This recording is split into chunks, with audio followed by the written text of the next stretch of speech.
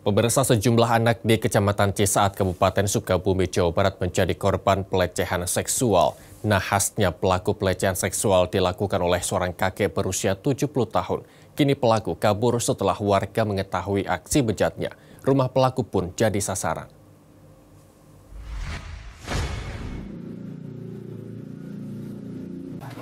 Rumah kontrakan yang berada di Kampung Bojongloa, Desa Sukamantri, Kecamatan Cisaat, Kabupaten Sukabumi, Jawa Barat ini dirusak massa.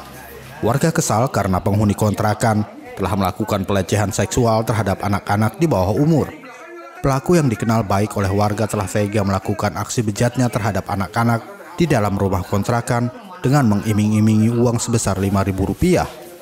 Aksi bejatnya diketahui setelah salah satu korban mengadu kepada orang tuanya merasa kesakitan saat buang air kecil. Dan saya melihat situasi di tempat, apa yang dimiliki barang sudah ada sebagian di luar. Di sana pakaiannya di luar semua, yang perabot lain masih di tempat. Beberapa hal yang diketahui ada uh, pintu sudah terbuka, sudah rusak, ada pemukulan yang diter tersimpan mungkin sudah upaya niatnya mau ada ketemu dengan yang pelaku. Pelakunya pergi lewat jalan belakang. Kabur ya pak ya? Kabur. Di kampung ini pak korban kalau di kampung di sini ada tiga KRW-an terdiri mm -hmm. kurang lebih sembilan orang yang kami ketahui. Mm -hmm. yang sembilan orang di sini ditanya satu persatu anak masing-masing bervariasi kelakuannya ada yang di gang ada yang di perjalanan ada di tempat di rumah ya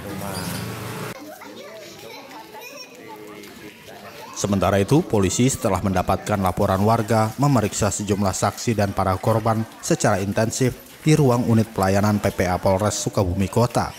Para korban kini berdatangan ke Mapolres Sukabumi Kota dan kini pelaku yang melarikan diri dalam pengejaran petugas kepolisian.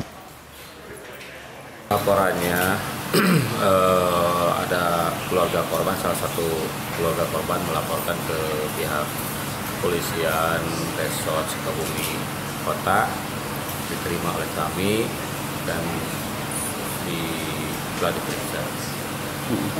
Ada berapa korban dan yang diperiksa dah? Korban diperiksa kita tujuh orang, tujuh anak. Selangkah selanjutnya dah?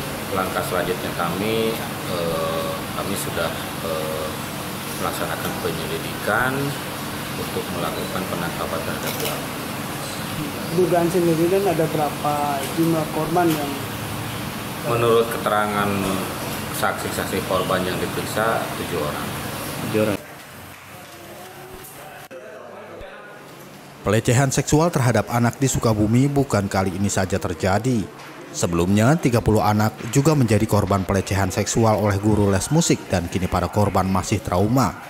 Ada juga kasus Emon yang memakan korban hingga ratusan anak yang membuat heboh dan menjadi perhatian pemerintah. Orang tua dihimbau untuk selalu waspada dan menjaga anak-anaknya dari orang-orang yang tak bertanggung jawab. Dari Sukabumi, Jawa Barat, kontributor Nusantara TV Nina Fatimah melaporkan.